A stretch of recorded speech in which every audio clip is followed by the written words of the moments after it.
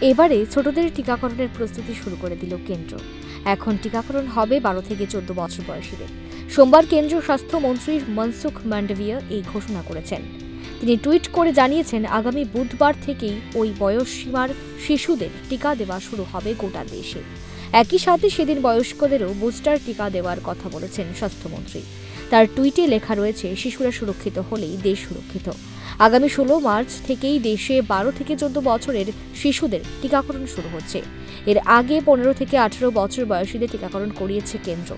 তিনি টুইটে শিশুদের অভিভাবকদের অনুরোধ করেছেন, তারা যেন দ্রুত সন্তানদের নাম টিকাকরণের জন্য নথিভুক্ত করেন। ষাটূর্ধ্ব ব্যক্তিরাও ওই দিন থেকে বুস্টার টিকা নিতে পারবেন বুধবার থেকেই তাদেরও বুস্টার টিকা দেওয়ার কাজ শুরু হবে। Bureau report, Times twenty